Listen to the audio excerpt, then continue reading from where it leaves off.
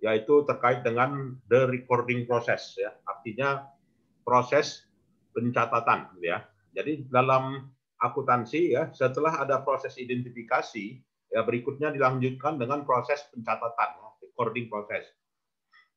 Nah, jadi chapter ini outline-nya meliputi ya bagaimana kita memahami apa yang dikatakan dengan normal account balance ya atau disebut dengan saldo perkiraan ya kan. Kemudian topik yang kedua membahas mengenai recording business process ya bagaimana pencatatan akuntansi ya dan juga bagaimana posting ya pemindahan ya bagaimana uh, menyajikan neraca saldo ya. Jadi ini topik yang kita bahas pada malam ini. Jadi nanti siapkan pertanyaan ya kalau ada yang perlu ditanyakan dengan topik itu. Nah pada topik yang subsection yang pertama kita menggambarkan bagaimana menyusun perkiraan ya bagaimana debit ya bagaimana kredit dan juga mencatat uh, catatan transaksi bisnis tersebut gitu ya.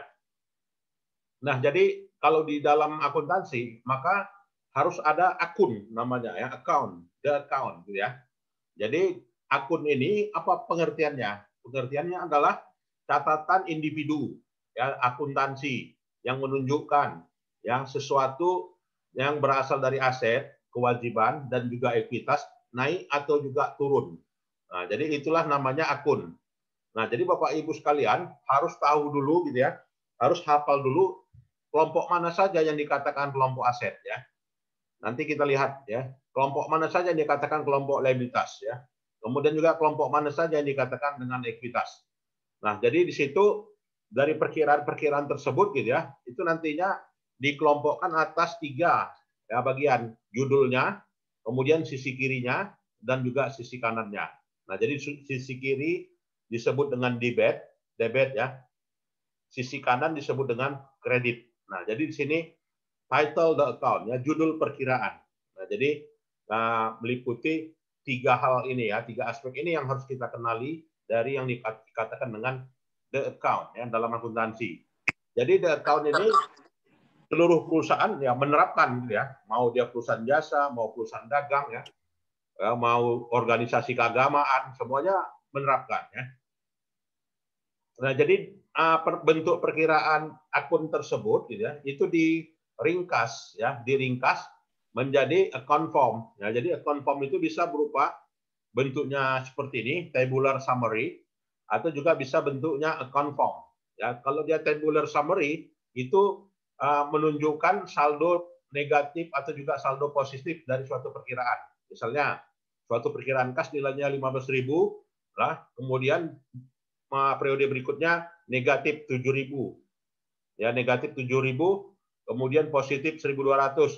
Oh, positif 1.500, negatif 1.700 sampai negatif 1.300. Jadi dijumlahkanlah seluruh negatif dan dikurangkan dengan yang positif hasilnya lebih besar positif gitu ya berarti 8050. Nah, sedangkan yang perkiraan yang lain yang lazim digunakan ya selain itu ya menunjukkan uh, dalam hal ini ini saldonya 8050 ya. Ini menunjukkan juga saldonya 8050. Dah dari mana asalnya 8050 ini? Ya berasal dari mutasi yang ada di debit ya dan juga mutasi yang ada di kredit. Nah, jadi kalau dia mutasi yang ada di debit terutama akun kas, perkiraan kas, ya itu disebabkan karena adanya penambahan ya.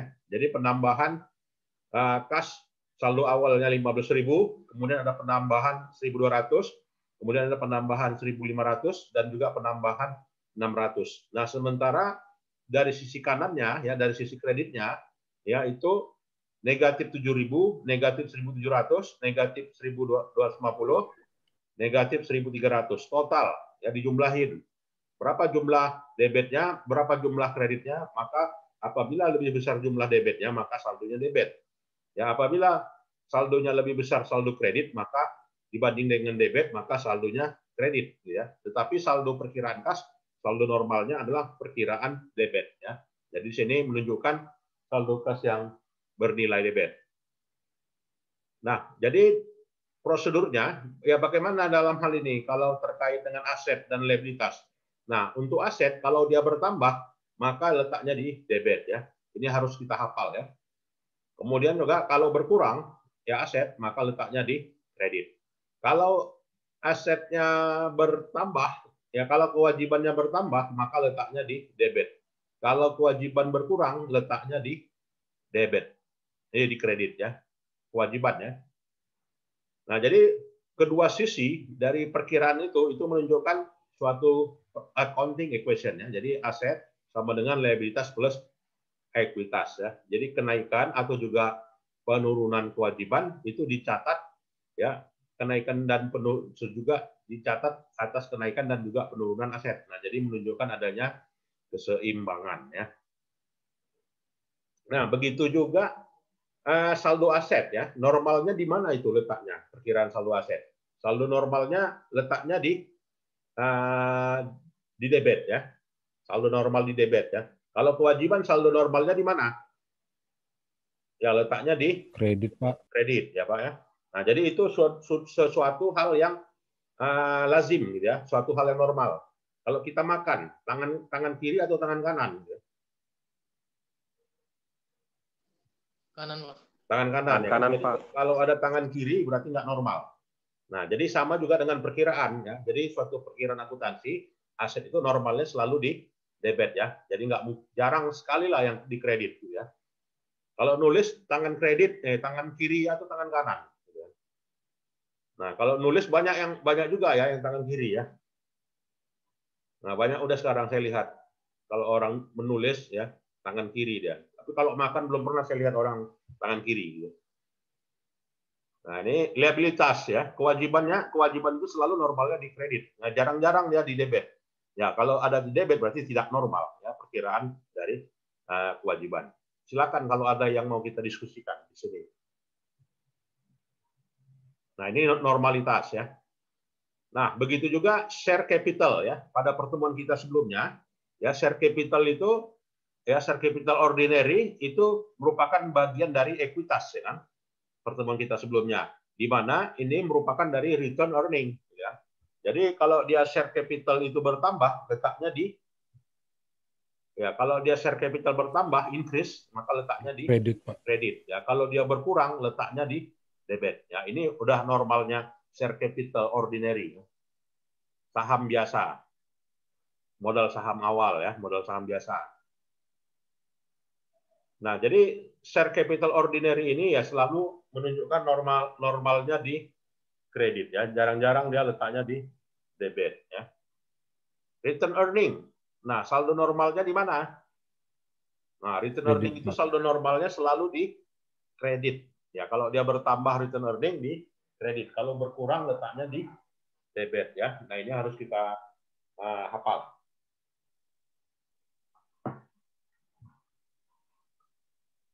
Oke, berikutnya return earning ya. Nah inilah dia. Jadi saldo return earning itu selalu di kredit. Dividen. Nah dividen itu kalau dia bertambah letaknya di mana? Ya letaknya di Dividen kalau bertambah letak timbul dividen kalau timbul letaknya di debit ya. Kalau berkurang dividen letaknya di kredit. Saldo normal dividen selalu di debit ya.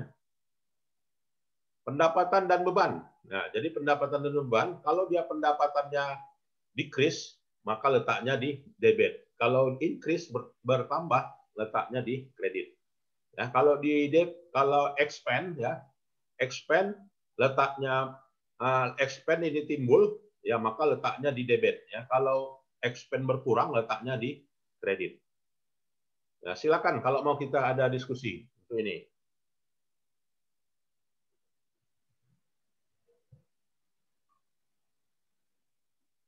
Nah, jadi jadi normal dari revenue itu selalu di kredit ya.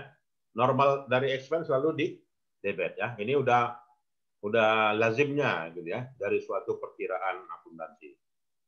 Nah, jadi kalau dia equity relationship ini, inilah hubungannya yang udah kita bahas pada pertemuan sebelumnya ya. Jadi equity relationship itu ekuitas itu berasal dari mana? Dari laba. Gitu ya. Jadi kalau perusahaan mendapatkan laba, maka ekuitas pemegang saham itu akan bertambah.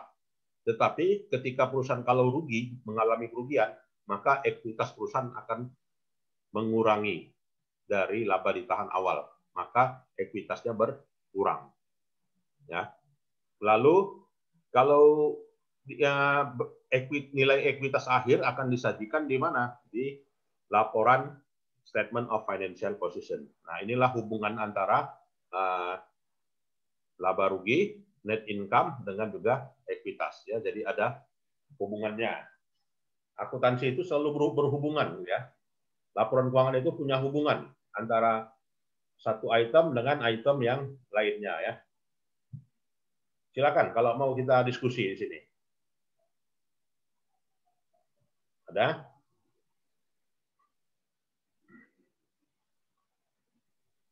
Nah, jadi inilah ringkasannya Bapak Ibu ya. Jadi untuk aset ya sama dengan liabilitas tambah ekuitas. Kalau aset bertambah debit ya, aset berkurang kredit. Kewajiban bertambah kewajiban bertambah letaknya di kredit ya. Kewajiban berkurang letaknya di debit. Share capital bertambah letaknya di debit eh di kredit. Kalau berkurang letaknya di debit ya. Return earning bertambah letaknya di kredit.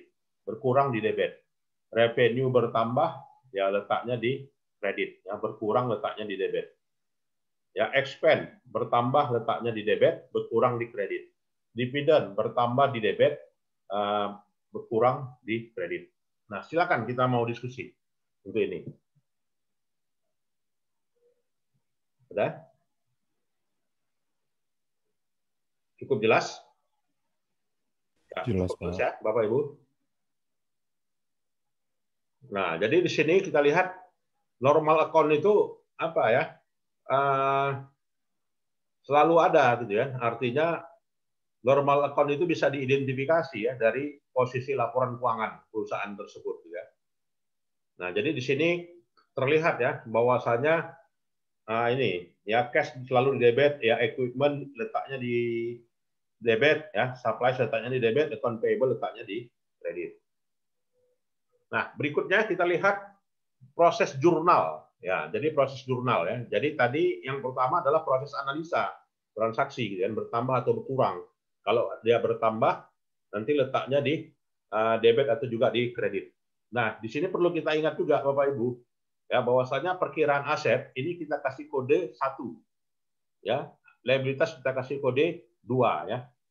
Kemudian ekuitas kita kasih kode tiga, yang ekuitas share capital kita kasih kode 3 tadi ya. 31. Return earning 32. Revenue 4. Expend 5. Dividend 6. Nah, itu ya. Jadi namanya uh, chart of account ya. Nah, jadi di sini dalam proses penjurnalan, ya proses penjurnalan situ mulai dari analisa transaksi, ya kemudian input jurnal, lalu apa ya posting ke buku besar. Nah, itu mekanisme dari suatu proses pencatatan. Ya. Jadi proses penjurnalan ini dalam pencatatan akuntansi tradisional ya, inilah yang dikatakan dengan database itu, gitu ya. Jadi database itu dia menjurnal. Karena apa? Karena semua data dirangkum di jurnal. Gitu ya. Tapi kalau dalam konteks database apa ya, database uh, sistem informasi, gitu ya, maka uh, database itu letaknya di mana ya? Ya letaknya di uh, apa ya? buku besar. Ya, jadi buku besar itulah yang menunjukkan uh, rangkuman data, ya, hubungan data, gabungan antara data, ya. Jadi perusahaan yang menandai ya catatan transaksinya secara kronologis. Nah, jadi di sini Bapak Ibu secara kronologis per tanggal ya. Jadi berurutan ya, bersekuensial ya. Jadi berdasarkan pada apa? Kronologisnya. Jadi kalau pagi hari yang dicatat pagi duluan ya, dibanding yang sore. Tanggalnya sama ya. Kalau tanggalnya udah beda, udah pasti tanggal yang terdahulu dicatat lebih dibanding dengan tanggal yang berikutnya, Bapak Ibu ya. Nah, jadi situ penjurnalan di sini meliputi ya komplit efek, ya dampaknya secara lengkap yang berdampak terhadap perusahaan Kemudian juga secara kronologis, ya, berdasarkan tanggal tadi.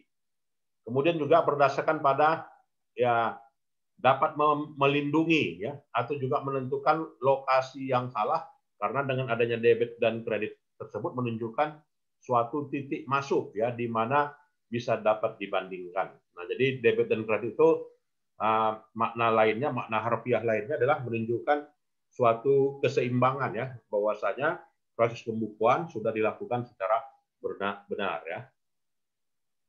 Nah, inilah jurnal satu Softbit SA share company menginvestkan uangnya 15.000 ya meng, menginvesta, menginvestasikannya uangnya ke, ke dalam saham dan dikonversi menjadi saham biasa dan adanya penyetoran tersebut maka dijadikan modal ya dan dijadikan modal untuk membeli yang namanya equipment ya peralatan nilainya 7.000. Nah, maka coba tunjukkanlah jurnal transaksinya. Ya, jurnal transaksinya inilah dia. Jadi proses penjurnalan itu ya eh, dari itu ya kan setor modal ya kan dalam bentuk uang kas lalu nanti beli peralatan ya. Maka dicatat dulu ya secara kronologis transaksi penyetoran saham. Nah, jadi di sini catat di debit cash 15.000 dan di kredit share capital 15.000. Ya, kenapa ya posisinya ini di debit, ini di kredit? Karena investasi penyetoran modal gitu ya. Ya, penyetoran modal ke dalam perusahaan Shopbit tadi ya, dampaknya adalah perusahaan punya uang kas. Nah, karena karena kas bertambah, aset ya, aset bertambah letaknya di debit. Di sisi lain modal bertambah ya, maka modal bertambah letaknya di kredit. Nah, itulah ya. Jadi dibuat dalam kurung di sini. Dibuat dalam kurung issued share forecast ya, diterbitkan saham untuk uh, dan dikonversi menjadi uang kas catatannya ya. Lalu secara kronologis lagi dengan uang kas yang ada dibelilah peralatan ya equipment ya. Kita udah bedakan kemarin ya mana yang perlengkapan, mana yang peralatan ya. Beda itu secara akuntansi. Kalau dia peralatan, equipment. Kalau dia perlengkapan, supplies gitu ya. Atau orang-orang awam menyatakan apa gitu ya, uh, inventaris. Nah, barang inventaris. Nah, kalau dia inventaris itu supplies atau equipment?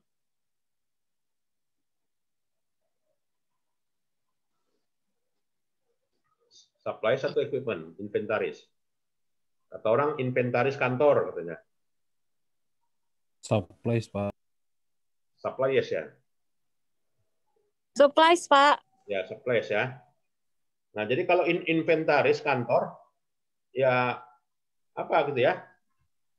Barang inventaris seperti apa misalnya? Mobiler, kursi, gitu kan? Atau apa ya? Uh, hektar. Itu inventaris atau supplies. Itu.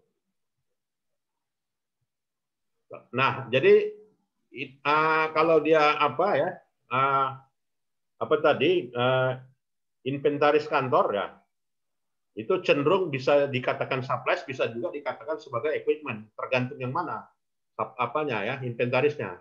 Jadi kalau inventarisnya masa manfaatnya lebih dari satu tahun, maka bisa kita kelompokkan sebagai equipment.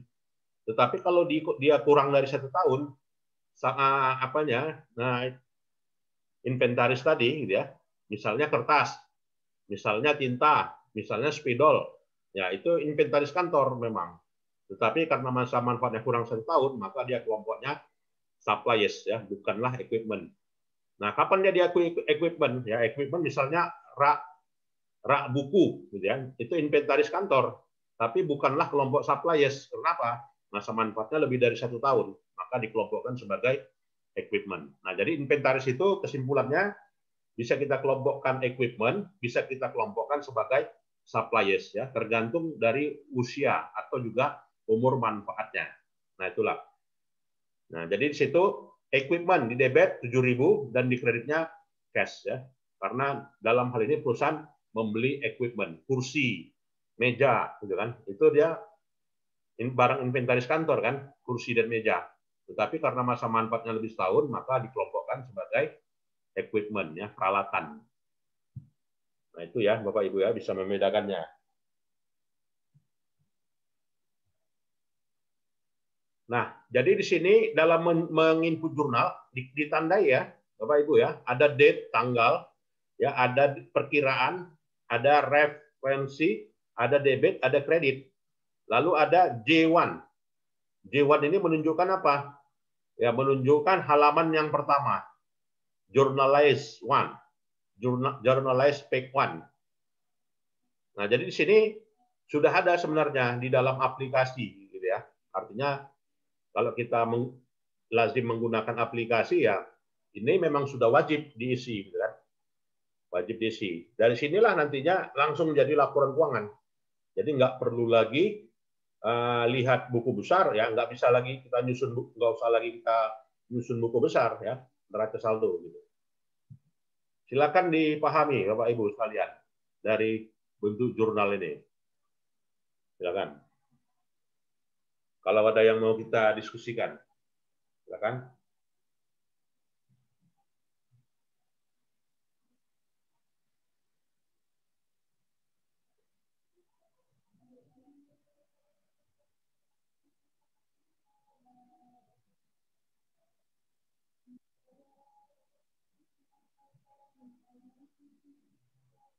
sambil menunggu ajan kita.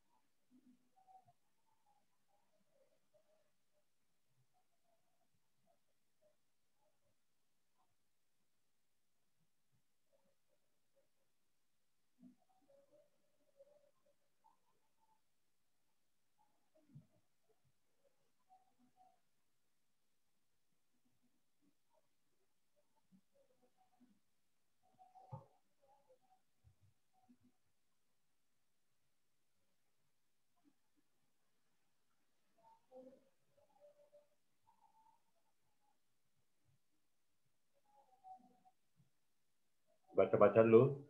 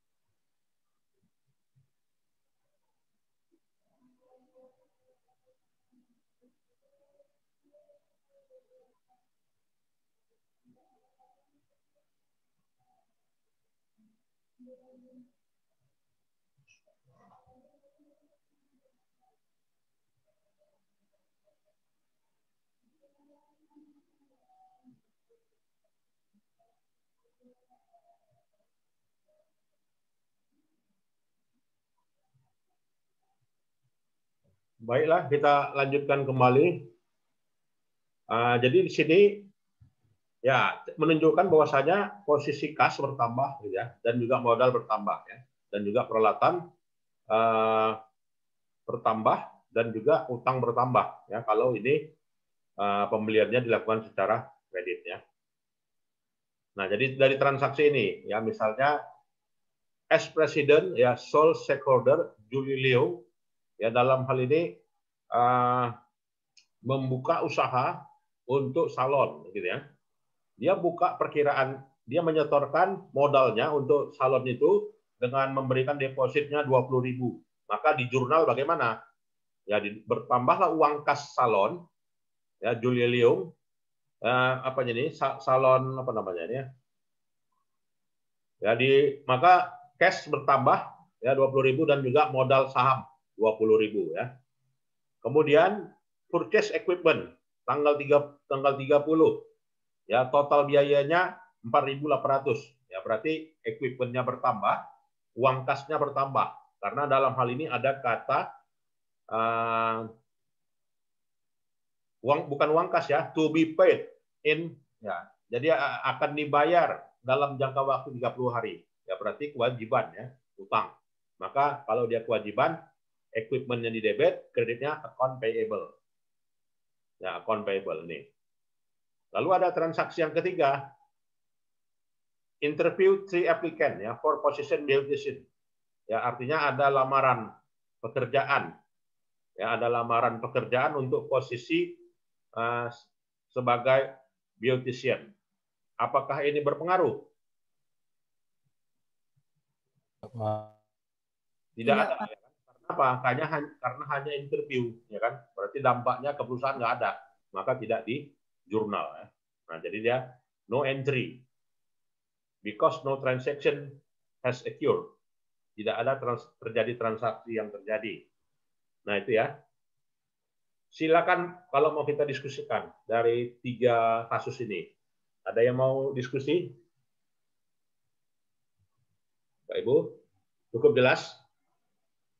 Jelas Pak. Ya jelas ya Pak. Berikutnya, nah dari jurnal, nah yang tadi jurnal kita ya kita bahas. Sekarang buku besar, ya post to uh, ledger account. Ya post to ledger account ya. Jadi di sinilah dikatakan dengan general ledger ya buku besar. Nah jadi buku besar itu kalau aset buku besarnya apa aja? Buku besar cash ya buku besar suppliers buku besar land buku besar equipment. Apalagi yang kelompok aset? Silakan kalau ada yang mau nambahkan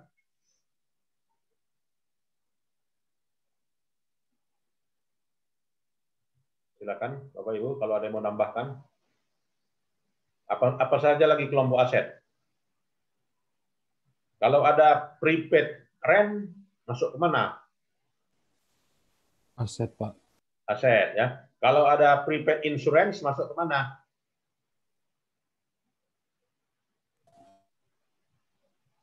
Prepaid insurance. Asuransi dibayar di muka. Aset juga, Pak. Aset juga, ya Pak. ya. Kalau ada inventory, persediaan, masuk ke mana? Aset juga, Pak. Aset juga ya. Nah, itu adalah kelompok aset. Lalu adalah kelompok individual liabilities ya, kewajiban. Kewajiban itu apa saja? Not payable. Utang wesel kata orang ya. Utang wesel not payable. Nah, jadi not payable itu seperti apa? Surat utang. Ya, kalau kita membeli sepeda motor kredit gitu kan, maka kita dapat apa? Not payable. Surat utang. Kan gitu kontrak. Bahwasanya kita kontrak dengan FIF misalkan beli sepeda motor harganya 30 juta rupiah. Maka eh, dengan demikian kita terikat ya tanda tangan ya kedua belah pihak dengan leasing ya. Maka yang yang menerbitkan itu disebut dengan dia menerbitkan not receivable sedangkan orang yang menerima disebut dengan not payable ya itu dia surat utang hitam di atas putih disertai dengan janji tertulis untuk membayar. Per tanggal berapa bayarnya? Tanggal 10 tiap bulan kan. Biasanya tanggal transaksi itu adalah uh, tang, uh, tanggal penyerahan ya, tanggal pembiayaan. Atau disebut dengan account payable, hutang dagang. Atau juga trade receivable, uh, trade payable ya, hutang dagang. Atau juga salaries and wage payable atau juga interest payable ya, hutang bunga. Nah, jadi di sini itulah kelompok kewajiban ya. Jadi dia masing-masing punya buku besarnya. Ya, kemudian juga individual ekuitas. Individual ekuitas ada share capital ordinary, ada return earning, ada dividend, ada service revenue, ada salaries and wage expense ya. Jadi ini kelompok ekuitas namanya. Jadi ekuitas berupa apa ya? ekuitas berupa modal saham biasa, buku besarnya ada, kemudian berupa laba ditahan, buku besarnya ada, kemudian dividen, buku besarnya ada, ya kemudian juga service revenue ada buku besarnya, dan juga salaries and wage expense itu ada buku besarnya. Silakan kalau Bapak Ibu mau diskusi di sini.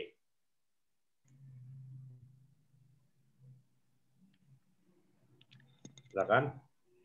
Eh, mau nanya untuk yang di kelompok uh, le- ledger yang individual liability itu kan ada salary and wage payable pak Ya. dan di individualnya uh, ada juga uh, salary tapi bersamaan dengan wage wage expense. Nah untuk uh, gaji karyawan yang tetap artinya yang rutin dikeluarkan setiap bulan itu artinya masuk ke scope individual liability ya pak ya? Ya, jadi dia untuk gaji yang karyawan pada tanggal sebelum gajian, tanggal 30, maka perusahaan terutang gaji. Maka ju- jurnalnya apa? Ya, salaries expense di debit, ya, kemudian juga kreditnya apa? Salaries payable. Terutang ya. Pada saat gajian tanggal 1, ya kan tanggal 1 maka gaji ditransfer ke bank ke rekening masing-masing, gitu kan? Ke rekening masing-masing apa jurnalnya? Nah, tadi yang sebelumnya sudah dicatat sebagai hutang, maka sudah dicatat sebagai penurunan kas. Maka salaries expense di debit, kemudian di kreditnya apa? Cash Cash. atau bank ya, bank berkurang. Nah, jadi uh, untuk gaji karyawan ya pada saat terutangnya disebut dengan salaries payable, kemudian pada saat penggajian dikatakan dengan salaries expense. Jadi apa ya? Makasih pak. Nah, what incentive ya, making nah jadi dalam hal ini untuk meningkatkan nilai ya apa ya nilai perusahaan ya, terutama dalam hal ini insentif yang diberikan pada karyawan ya berupa penggajian ya. Kemudian kita lihat di sinilah standar dari buku besarnya, Bapak Ibu ya. Jadi kas, misalnya, kas itu nomor kepala kodenya 101. Kenapa enggak kepala kodenya 202? Kenapa enggak 305? Kenapa enggak 402? Kenapa harus uh, 101? Siapa bisa menjelaskan? Karena Ah. kan bukan aset, Pak. Ya, karena kas adalah kelompok aset. ya. Aset. Kelompok aset. Dia wajib aset itu kepala uh, header account-nya satu, gitu ya. Nomor satu. Aset itu nomor satu. Jadi tidak bisa aset itu nomor dua. Tidak bisa aset itu nomor tiga. Kalau ada nomor tiga berarti perancang sistemnya salah. Ya, jadi itulah kenapa kas itu kodenya 101. Nah, jadi di situ terlihat ya buku kas itu bermutasi. Nah, di sini tanggal 1 kasnya 25.000, saldo lah 25.000. Tanggal 2 ya. Walaupun ini kita lihat 1 1 Juni ini asalnya dari mana ini saldonya kira-kira? Invest awal, Pak. Ya, dari kas bulan Mei. Nah, ya kan? Mei tanggal 30. Ya kan Mei tanggal 30 saldo kasnya 25.000. Maka saldo akhir bulan Mei menjadi saldo awal bulan Juni. Itulah dia 25.000. Nah, jadi terlihatlah mutasinya di sini. Jadi kalau yang debit bertambah, kalau yang kredit berkurang. Nah, jadi dia mutasinya karena dia berdebit debit ya saldonya. Lalu 25.000 karena dia kredit, maka saldonya jadi 17.000. Karena debit lagi 17.000 tambah 4.200. Ya, karena dia debit lagi ya 28.000. Karena dia kredit lagi ya apa ya, saldonya 17.000 dan seterusnya. Baik ya. Nah, inilah dia hubungannya antara posting dengan jurnal tadi, Bapak Ibu. Jadi yang di jurnal uang kas gitu ya. Kasnya tadi di debit eh, 15.000, maka di buku besarnya dampaknya ke mana? Ke buku besar kas dan ke buku, besar share capital ya, buku besar kas dan buku besar share capital di sini. Nah, jadi situ buku besar kasnya di debit 15.000, ya saldonya 15.000 ya. Kemudian share capital saldonya kredit 15.000, ya kemudian inilah saldonya kredit 15.000. Nah, inilah hubungannya, relationship-nya. Ya, Bapak Ibu, ada yang mau kita diskusikan di sini? Nah, jadi wajib ya dari setelah buku setelah jurnal wajib ke buku besar. Nah, walaupun kalau di dalam sistem perusahaan yang komputerisasi ini nggak terlihat, ya, yang terlihat di mana? Di input aja perusahaan ya di jurnal. Sementara di buku besarnya udah nggak lihat lagi, udah sistem ya, udah udah komputer yang menggerakkan. Tinggal enter enter aja jadi laporan, gitu ya. Makanya kalau bagian pelaporan keuangan udah enak sekarang, gitu kan? Apalagi yang sistem komputerisasi, kan? Sistem komputerisasi dia yang menginput aja, inputnya pun nggak manual lagi kan? Jadi orang udah mau pesan makanan pakai GoFood, gitu kan? Input, ya kan? Di input, itulah input itu jurnal. Ya, input itu jurnal, gitu ya. Mau kita pesen mau beli pulsa gitu kan nggak perlu lagi ke apa nggak perlu lagi ke apa ya outlet HP tinggal cari mobile banking ya kan? Beli pulsa di situ. Berkurang saldonya. Input gitu kan? Mau apa lagi gitu kan? Mau beli tiket pesawat gitu kan? Mas, masuk ke Traveloka. Input gitu kan? Atau mau masuk ke tiket penerbangan langsung input.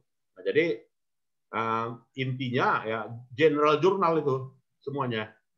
Ya general jurnal. Buku besarnya nggak lihat lagi ya buku besarnya nggak lihat lagi tersistem dia artinya karena dia input ya dengan kode tertentu ya dengan sistem apa ya virtual account gitu ya maka transfernya masuk di sini langsung ya dampaknya uh, langsung ke langsung ke jurnal Nah, jadi inilah Bapak Ibu ya chart of account itu. Jadi dia kas itu 101, piutang itu 112, 126. Artinya ini apa ya? Ini relatif. Tiap perusahaan bisa aja nggak sama, gitu ya. Tergantung akun perusahaan itu mana yang sering dipakai. Ya, kalau ini kan nggak ada nggak ada bank ya kan Bapak Ibu ya, nggak ada bank. Ya, artinya apa? Perusahaan ya hanya ada kasir ya bank ya. Tapi kalau ada bank, bagaimana kalau ada bank? Ya, kita kasih kode satu satu misalnya 105. Nah, dia harus kita apakan ya?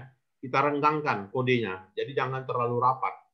Jadi ini 101 nggak boleh 102. Kenapa? Ketika nanti perusahaan membentuk perkiraan baru, gitu ya, maka nanti nggak mengubah sistem seluruhnya.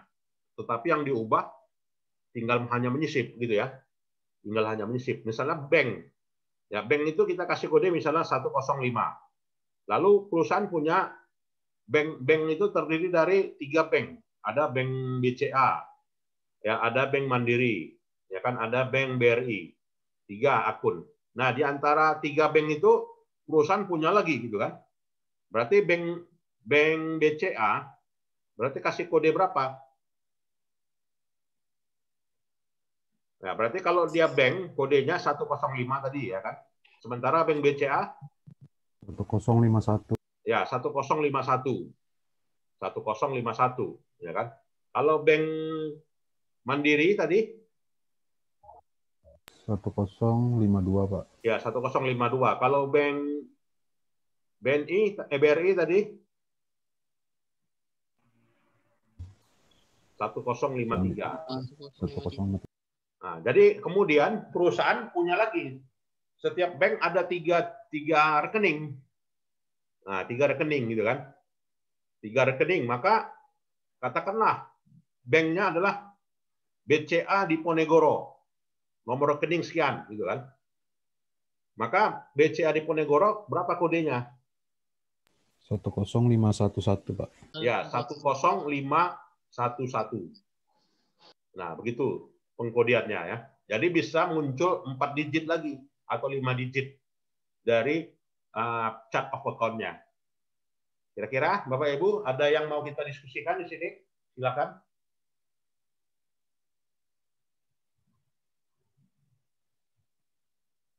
Nah, kalau misalnya perusahaannya leasing, gitu kan, perusahaan leasing, maka revenue-nya apa saja?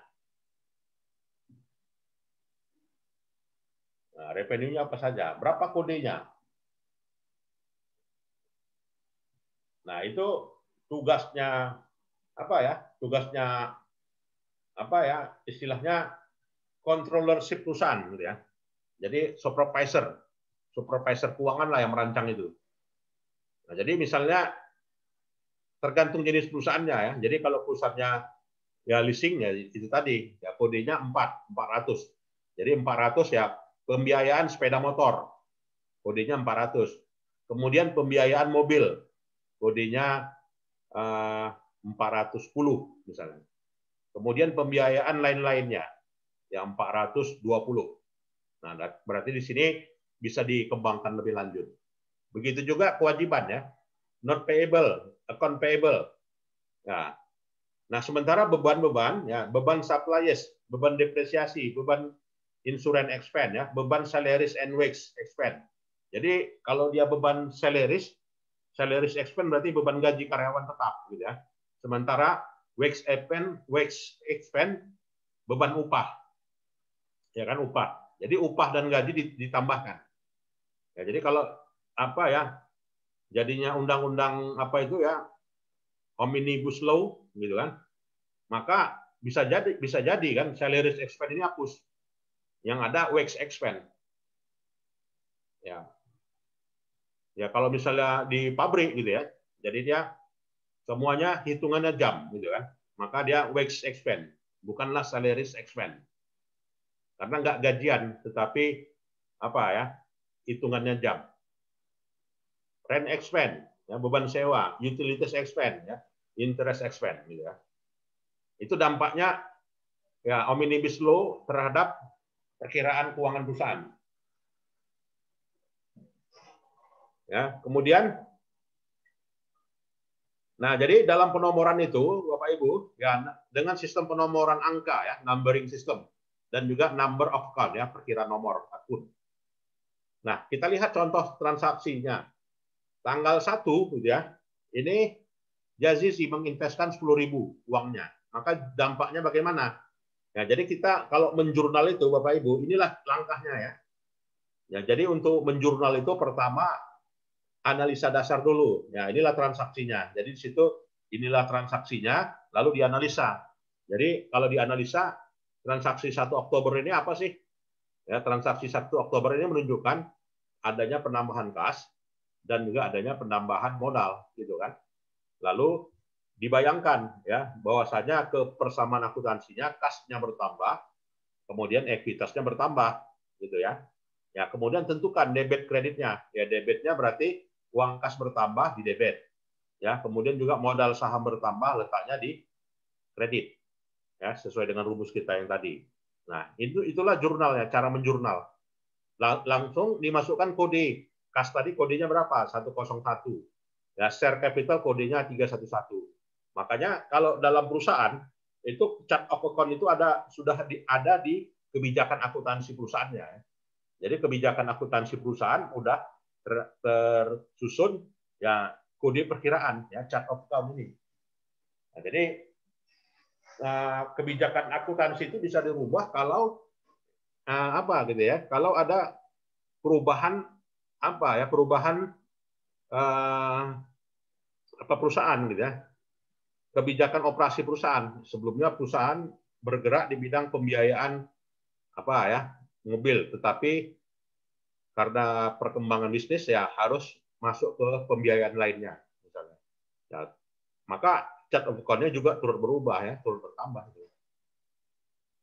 silakan bapak ibu kalau ada yang mau diskusi untuk ini cukup jelas cukup jelas ya. Jadi untuk menjurnal itu sampai ke buku besar, kita lakukan enam ini, enam langkah ini. Tapi kalau kita udah mahir, tinggal baca ini jurnalnya ini. Nah, itu pun bisa juga kan kita lewati ini semua. Ya, tapi kalau misalkan masih awam, ya kita harus ikuti ini dulu. Nah, terutama yang yang yang pegang bagian pembukuan ya ini harus dilakukan. Ya, agar tidak salah ya tidak salah jurnal. Itu dia. Berikutnya transaksi kedua, Jazid Advertising membeli peralatan 5.000 ya per tiga bulan dengan uh, bunganya 12% dan juga dengan cara hutang ya 5.000 menerbitkan not payable. Apa dampaknya? Dampaknya adalah bertambahnya equipment, kemudian bertambahnya hutang. Nah, bertambahnya equipment, equipment bertambah letaknya di debit utang bertambah letaknya di kredit. Ya, maka equipment di debit, not payable di kredit. Posting. Equipment di posting, ya kode equipment 157, ya kan dapatlah saldonya saldo debit kemudian juga not payable saldonya kredit. Nah silakan bapak ibu kalau ada yang mau kita diskusikan itu ini. Cukup jelas?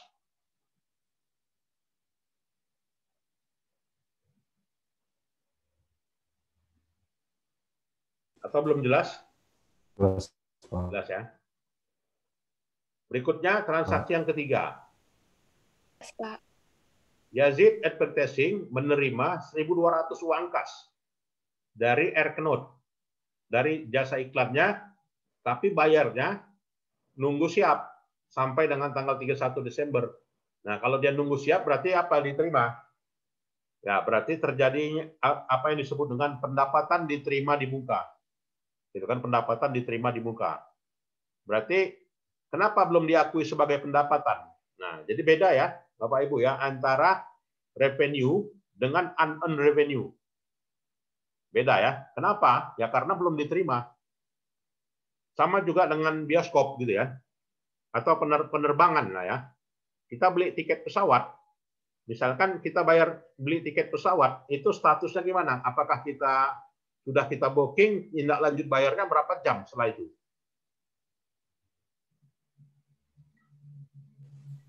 Ya kalau misalnya kita pesannya online gitu kan, itu dikasih waktu satu hari gitu kan, atau 12 jam. Nah berarti kalau enggak nanti dibalikkan lagi bookingnya kan gitu kan. Nah ketika dibayarkan, ya ketika dibayarkan, artinya kita transfer dengan virtual account, gitu kan. Kita bayar pesan tiket ke Jakarta, gitu kan. Nah, malam ini pesannya pakai apa? Pakai Traveloka, gitu kan. Maka uh, Traveloka itu akan apa ya order aja pun boleh tapi 12 jam gitu kan. Setelah itu bayar. Nah setelah bayar maka penerbangannya bulan depan. Nah kalau dia bulan depan berarti belum diterima oleh maskapainya sebagai suatu pendapatan gitu ya. Maka di, dianggap sebagai pendapatan diterima di muka ya. Unearned ya unpaid ticket revenue.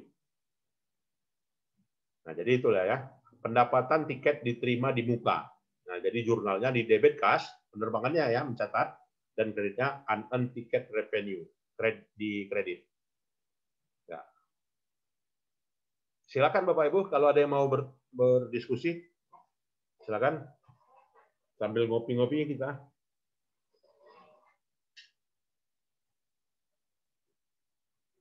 Silakan. Cukup jelas? Ya, jelas ya. Nah, berikutnya YLDZ Advertising membayar sewa sewa kantor. Nilai sewanya 900, maka jadilah beban. Ya. Beban sewa di debit kreditnya cash. Ya, rent expense kreditnya cash. Nah, rent expense posting ke buku besar, cash posting ke buku besar. Lanjut. Tanggal 4 Oktober Yazizi Advertising membayar 600 ya untuk satu tahun asuransi, di mana pertanggungannya sampai pada September ya bulan September dari Oktober ke September satu bulan ya. Maka apa jurnalnya? Ya karena dia bersifat bayar asuransi bulan depan ya pertanggungannya sampai bulan depan berarti belum jadi beban ya kan. Tetapi masih menjadi asuransi dibayar di muka. Nah beda dia dengan uh, insurance expense ya dengan prepaid insurance. Ya, kalau dia prepaid insurance ya berarti klaim apanya ya polis asuransinya masih ada hak gitu kan. Tetapi ketika sudah jadi beban asuransi artinya sudah dimanfaatkan gitu kan. Artinya sudah menjadi uh, insurance expense gitu kan. Ada yang mau diskusi terkait dengan asuransi ini? Silakan. Hmm, Pak, boleh tanya, Pak? Ya, silakan, Bu. Pak, kan kita ini ada misalnya asuransi gedung nih, Pak. Ya. Kemudian kemudian hari tiba-tiba ada terjadi kebakaran gitu kan, Pak. Kita klaim Ya. asuransi. Ya. Kita kan bebankan kan itu kan di dibebankan, Pak, masuk ke beban. Jadi pada saat asuransinya cair, Ya. untuk hasil klaim kita itu itu jurnalnya gimana ya, Pak? Ya. Nah, jadi untuk asuransinya gitu kan. Untuk asuransi kebakaran gitu kan. Masa pertanggungannya dua tahun gedung diasuransikan. Maka waktu dibayar polis asuransinya apa jurnal jurnal akuntansinya? Ya, jurnal akuntansinya akan didebit ya kan. Asuransi dibayar di muka, asuransi gedung dibayar di muka atau prepaid insurance land uh, building ya di debit, kreditnya cash. Nah, itu pada saat membayar polis gitu kan. Nah, tang pada tanggal 31 Desember ya kan, ketika sudah berjalan transaksi itu satu tahun gitu ya, tanggal 31 Desember apa di jurnal? Ya, di jurnal adalah ya yang sudah jadi beban. Insurance expense di debit, ya kreditnya adalah prepaid insurance. Jadi asuransi dibayar di muka yang udah habis satu tahun. Nah, ketika ada kebakaran, maka kewajiban asuransi timbul di situ, gitu kan? Dan masuk ke kas perusahaan. Ya, masuk ke kas perusahaan, jurnal catatannya apa, gitu kan? Catatannya sebagai apa itu? Ya, misalnya apa ya? Di, dianggap sebagai apa sama perusahaan? Pendapatan, lain-lain. Pendapatan, Pak. Ya, pendapatan lain-lain nih, Pak ya. Jadi pendapatan klaim asuransi di apa? kredit ya, di debitnya apa? bank. Karena transfer bank gitu kan. Bank di debit, kreditnya ya pendapatan klaim asuransi. Karena terjadinya kebakaran. Pendapatan lain-lain tentu saja. Oh, boleh langsung ke pendapatan lain-lain ya, Pak? Boleh. Langsung kita jadikan pendapatan lain-lain. Jadi yang yang berbedanya asuransi ini ya ketika itu tadi ya dalam kegiatan normal tidak ada klaim. Ya, tapi harus perkiraan asuransinya berdampak ya. Dimasukkan ke adjustment, penyesuaian. Ya karena apa? Asuransi itu kan ada tanggungannya. Dua tahun. Kita bayar premi 10 juta gitu kan. Sudah jalan setahun, nggak ada kebakaran, nggak ada klaim, nggak ada kerusakan. Maka udah jadi bukan bukan lagi hak perusahaan sebesar 10 tahun itu eh 10 juta itu kan sudah ada yang menjadi beban. Nah, maka itulah yang dijadikan penjurnalan ya, beban asuransi di debit, kreditnya asuransi dibayar di muka. Kenapa? Sudah jadi beban kan, sudah jadi beban perusahaan dan sudah jadi pendapatan perusahaan asuransi. Nah, makanya asuransinya nggak lagi 10 juta, tetapi tinggal 5 juta. Kenapa? Sudah jadi beban. Oke, Pak. Makasih, Pak. Berikutnya tanggal 5 Yazid Advertising membeli ya membeli uh, apa ya iklan ya. Di mana di bahan baku iklan ya. Di mana untuk uh, bahan baku iklan gitu ya senilai 2.500 ke, kepada uh, Aero Supply. Nah, jadi dalam hal ini di jurnal lah.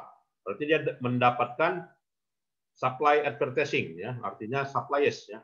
Artinya spanduk gitu kan di debit. Ya 2.500 kreditnya hutang ya 2.500 karena uh, tiga bulan diberi jangka waktu tempo membayar posting ya. Jadi setiap jurnal wajib posting. Ya jurnal posting ke buku besar ya akun uh, supplies posting ke buku besar akun payable posting ke buku besar ya.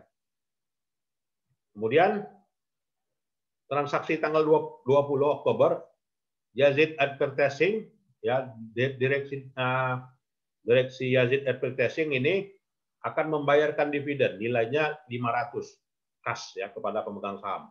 Dampaknya apa? Ya dampaknya berkuranglah uang kas 500 dan timbullah ekuitas berkuranglah ekuitas senilai 500 berupa timbulnya dividen gitu ya. Maka dividen di debit kreditnya cash.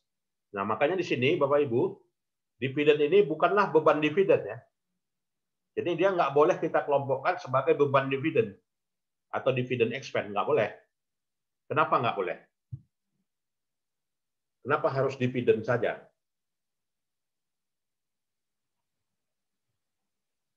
Silakan.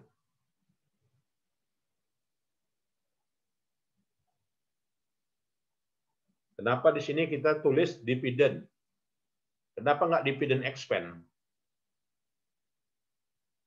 Silakan di apa? Di komentari. Sebagai manajer perusahaan ya, itu harus tahu gitu kan.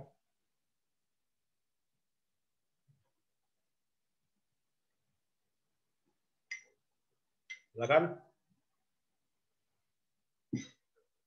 Ya, artinya dividen itu nggak boleh kita dibebankan. Kenapa? Kalau dibebankan, dampaknya kan ke laba rugi. Ya. Labanya akan menurun. Atas, laba perusahaan itu dikenakan pajak. Yang dikenakan pajak disebut dengan PPH badan. PPH pasal 25.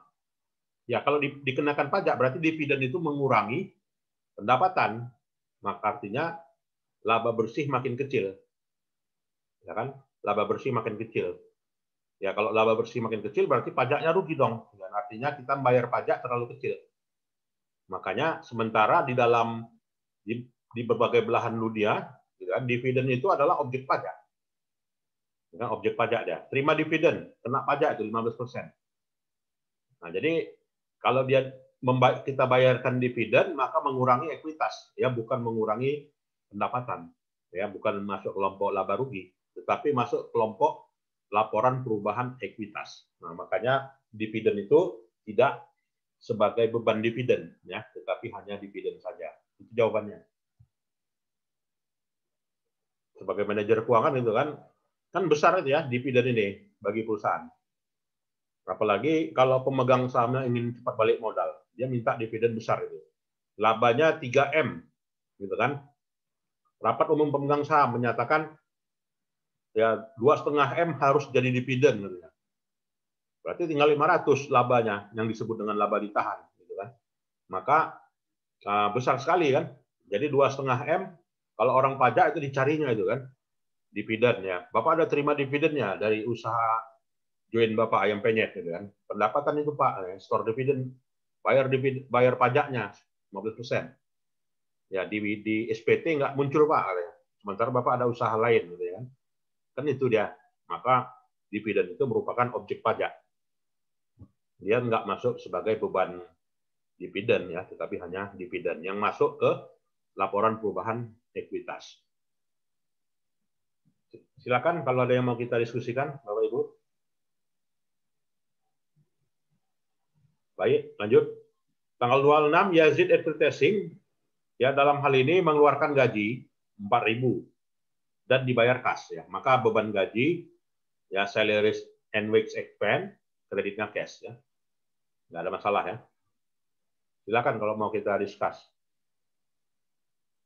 Tanggal 31 Yazid menerima uang senilai 10.000 cash dari Copa Company atas beban iklannya di bulan Oktober. Maka jurnalnya apa? Ya, pendapatan ya, pendapatan iklan. Berarti cash di debit, kreditnya pendapatan iklan ya, service revenue. Ya. Maka jurnalnya ini. Ada yang mau kita diskusikan? Silakan. Lanjut. Nah, jadi rangkumannya inilah dia, ilustrasi rangkumannya. Jadi di sini inilah dia page G1, artinya jurnal halaman pertama, Bapak Ibu ya. Jadi jurnal halaman pertama satu bulan itu ada ini transaksinya ini. Nah, jadi inilah ya. Jadi setiap ada kas ya harus agak menjorok ke dalam dia. Satu ketuk atau dua ketuk ini ya. Nah, dua ketuk gitu ya. Jadi dua ketuk lagi ya, satu ketuk lagi ya menyatakan keterangannya. Nah ini, ini kode perkiraannya tadi. Ada yang mau kita diskusikan ini? Silakan. Ya lanjut.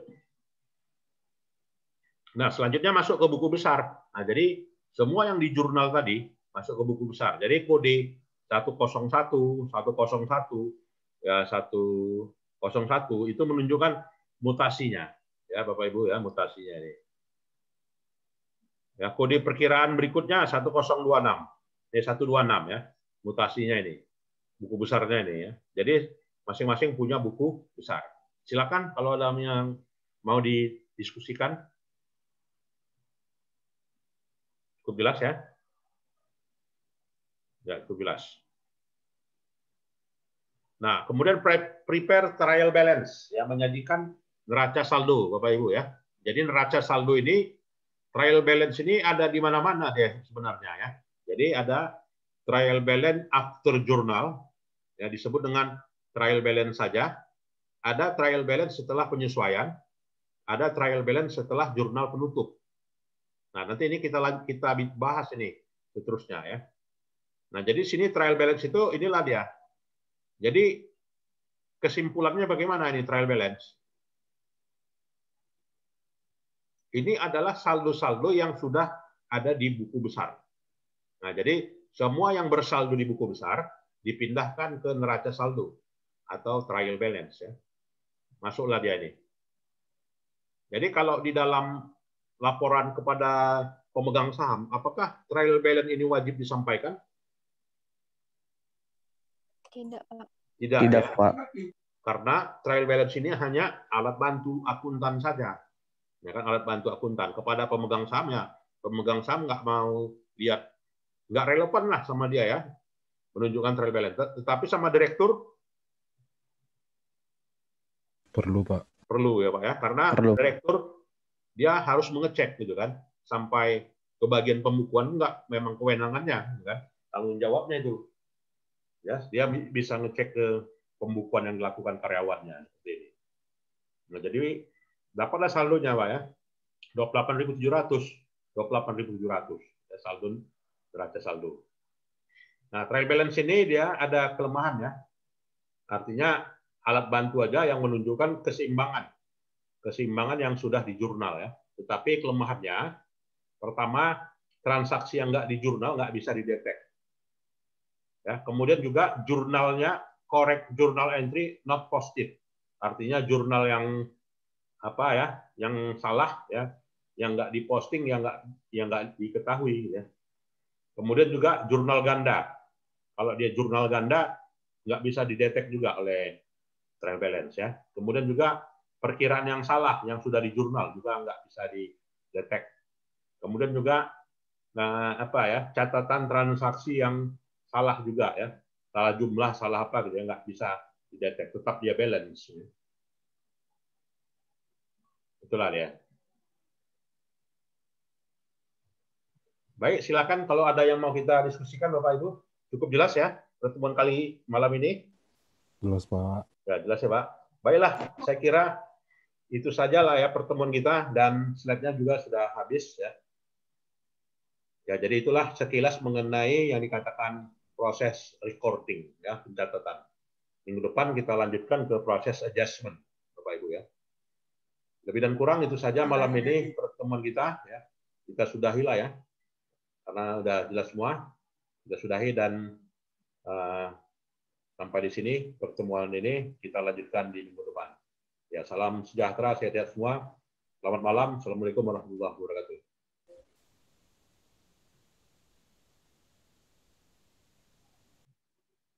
Terima kasih, Pak. Terima kasih, Pak.